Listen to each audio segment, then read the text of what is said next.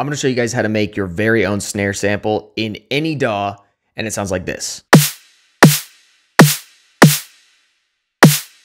I wanted to show you guys how I do this and some cool tricks that you can use no matter what DAW you're using. We're using Vital today. It's a free synth and it works in pretty much any DAW.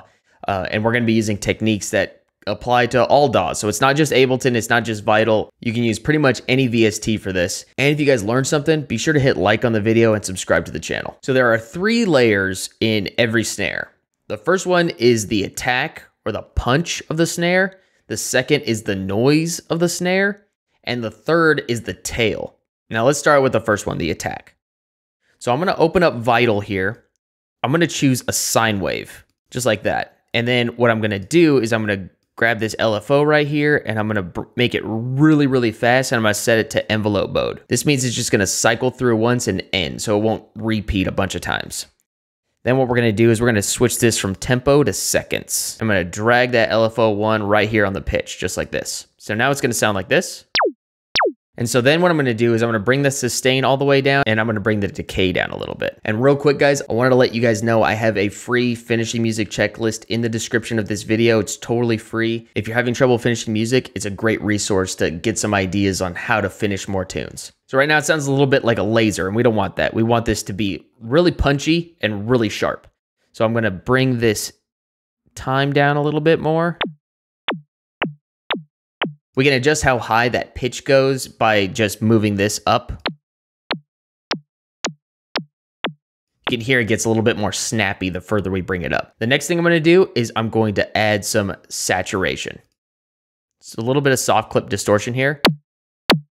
And that's it for this layer. The next layer, we are going to introduce some white noise. This is the, the noise layer. So I'm going to go down here and I'm going to add some white noise, bring that up like this, and I'm going to bring the attack up a little bit, bring the sustain down, because we want this, we don't want the attack to start right away. We want to make room for that punch, but then we want it to come in right after that punch. So I'm just going to go like this. Give it a little bit more release.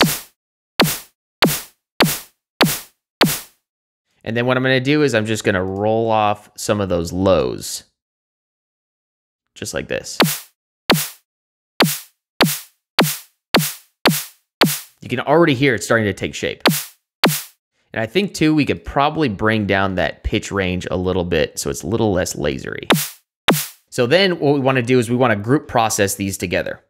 So I'm gonna use a glue compressor here, and you can use any compressor you want. We want a slow attack so we capture that, uh, that punch, that attack of the snare. And I've got the ratio up a lot. I want a lot of compression here. Then I'm gonna add a drum bus. And this is a combination of a couple of things. It's essentially what we're gonna be using it for is a transient shaper and some saturation.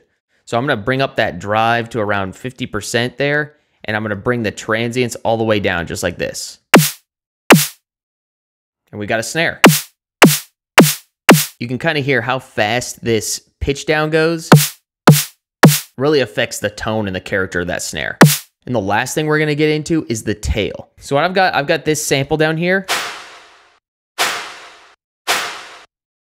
And this is a clap, but it's got a bunch of reverb on it. And you can essentially use anything for a tail as long as it has some reverb and creates a little bit of space. So check it out. I'm gonna I'm gonna bring this in now, and this is all all running in through the same group. So these are all being processed exactly the same, and now it sounds like this.